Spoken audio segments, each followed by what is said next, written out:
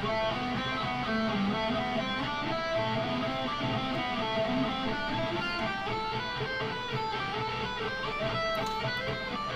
อเคนะครับ ตรวจการบ้านพี่นพศักดิ์นะครับทีนี้เรามาดูก่อนนะครับตอนแรกคือที่ผมได้ยินคือเสียงรบกวนนะครับมันหึงมากเพราะว่าอาจจะต้องมีการเก็บนะครับเสียงรบกวนต่างๆ ด้วยมือทั้งสองข้างเนี่ยเนี่ยตอนนี้เราจะเก็บนี่เลย เนี่ยเวลาผมกดโน้ตตัวเนี้ยตัวเนี้ยนะครับตัวเดียวเนี่ยเกิดอะไรขึ้นบ้างกับกีตาร์นะครับตอนแรกคือท้องนิ้วคนที่ชี้ทั้งหมดของผมเนี่ยจะเก็บเสียงรบกวนทั้งหมดเลยเนี่ยเห็นไหมได้ยินเสียงโน้ตที่กดนะเนี่ยก็ได้ยินเสียงโน้ตที่กดนะเนี่ยเห็นไหมว่าเสียงรบกวนมันเกิดจากการที่สายอื่นสั่นถูกไหมเพราะฉะนั้นเรากดโน้ตตัวหนึ่งเรามั่นใจไหมว่าโน้ตที่เรากด กับสายอื่นเนี่ย มันจะไม่มีการสั่นเกิดขึ้นเลยนั่นแหละคือทำให้เราเล่นได้สะอาดขึ้นนะครับอย่าอย่าอย่ามองแค่ว่าเรากดโน้ตตัวนี้เราใส่ใจแค่โน้ตตัวนี้ โน้ตที่มันไม่ได้กดเนี่ยสายอื่นเนี่ยบางทีเราเนี้ยกดเนี้ยโอ้สายเปิดบางทีมันจะมีเสียงรบกวนอย่างเงี้ยแต่ถ้าเราอุดทั้งหมดเนี้ยเนี่ยมันก็เงียบถูกไหมฮะดังนั้นการเก็บเสียงรบกวนมันก็คือการทำอย่างไรก็ได้ ที่ไม่ให้สายอื่นสั่นเลย โดยใช้กล้ามเนื้อที่เหลืออยู่ที่เราไม่ได้กดนะครับ แปะมันเข้าไปเนี่ยแปะมันจนแบบเนี่ยต่อมานะครับในส่วนของการเคลื่อนไหวมือ มือขวาเนี่ยพี่ต้องสั่งนี่ไปจุ่มอย่างนี้ ไปจุ่มอยู่อย่างนี้นะมันดูเก่งๆนะพองคลายมือนะครับนะครับ คลายมือมันเหมือนเราเราเอาเคยดีดลูกแก้วไหมฮะเนี่ยดีดลูกแก้วเนี่ยมันจะเป็นการเหมือนเราล้างมือไว้กับนิ้วโป้งถูกไหมแล้วเราก็ จะดีดดังหรือดีดเบามันอยู่ที่จังหวะที่เราเกรงตัวก่อนที่จะดีดนิดนึงนะแต่ตอนเล็งอะเราจะไม่ดีดมันจะไม่เราจะไม่เกรงคาไว้อย่างนี้นะฮะเราจะแตะไว้เฉยก่อนนะพอถึงลูกแก้วเราจะดีดปุ๊บเราเนี่ยเราปล่อยแรงทันทีแบบนี้นะฮะเดี๋ยวว่าก่อนที่เราจะดีดเราไม่ได้ใช้แรงนะเนี่ยแต่พอจะดีดปุ๊บเราใช้แรงการดีดเหมือนกันตอนที่เรายังไม่ดีดเนี่ย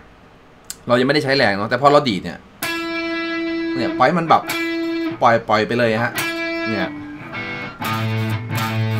แต่เราหาท่าดีดลงที่มันเป็นอย่างที่ผมบอกกันคือใช้แรงอัดแหละ แต่ผมจะใช้แรงอัดก็ต่อเมื่อ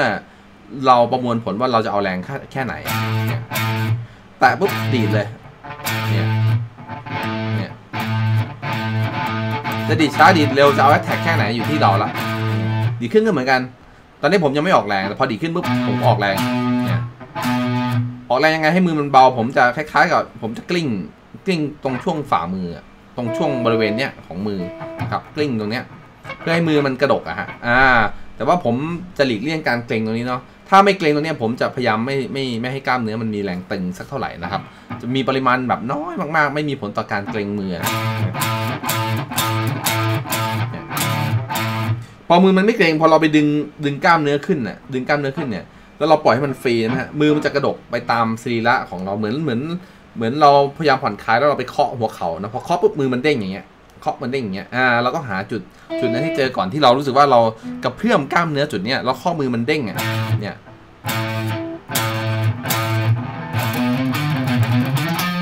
อย่างประมาณนี้ประมาณนี้นะครับ ส่วนมือซ้ายนะผมว่าโอเคแล้วนะฮะแต่น่าจะใช้เกียร์เลสถึงจะดีนะเพราะพี่พี่แบบพออย่างเงี้ยมันนั้นเป็นแบบนะฮะ คือเล่นเร็วเกินไปด้วยแหละอันดับแรกคือประเด็นก็คือตอนเล่นถอยหลังเนาะจังหวะที่ปล่อยโน้ตตัวเนี้ยเราต้องมั่นใจว่าเราไม่มีแรงตึงของนิ้วใด ๆ เหลืออยู่เลยนะครับ นอกจากนิ้วที่กดเพราะว่านิ้วที่กดมันจะใช้แรงตึงอยู่แล้วเนาะเนี่ยอันนี้การปล่อยแรงนิ้วต่อนิ้วให้ทันเนี่ยเป็นเรื่องที่สำคัญมากในการที่เราจะเพิ่มความเร็วด้วยนะ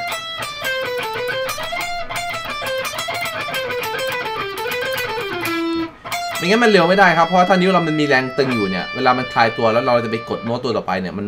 เคลื่อนไหวด้วยด้วยแรงตึงเนี่ยมันจะทำให้เราเมื่อย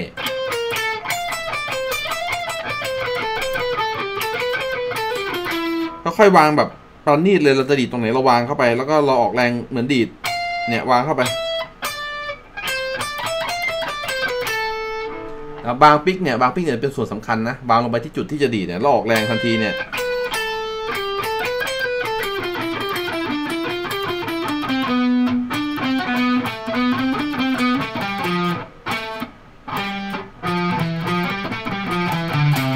วางเบาดีดแรง วางเบาดีดแรง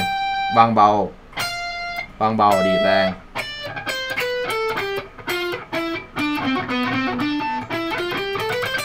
เพราะถ้าเราวางได้ได้ดีได้ชิดสายอะไรพวกนี้ผมว่าแล้วเราหาวิธีการดีดจากจุดที่มันชิดสายเนี่ยให้ได้ซาวดีๆเนี่ยนะครับผมว่ามันทำให้เราดีดได้ค่อนข้างแม่นนะครับ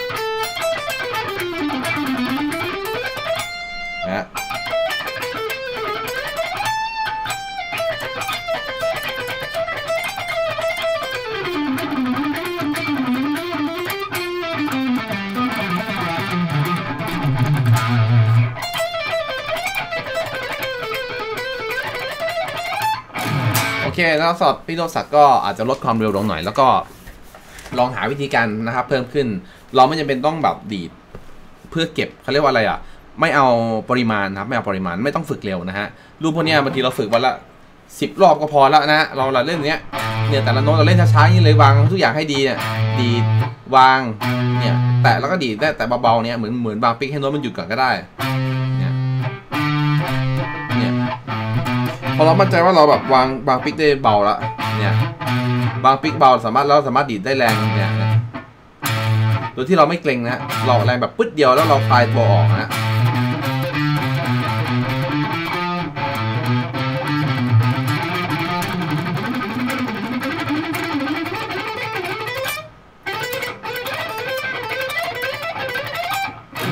โอเคลองฝึกดูครับพี่นพศักดิ์